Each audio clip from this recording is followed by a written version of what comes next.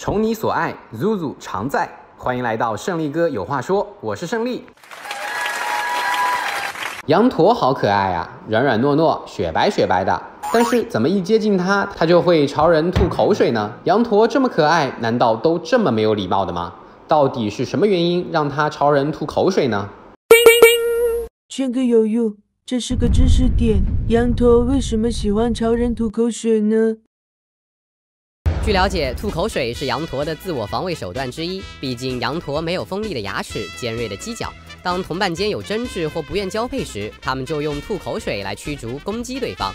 当羊驼生气时，它会扇动耳朵，促使舌头发出噼啪声。此时，口水在它的嘴里大量分泌，攻击距离足足能达到三米。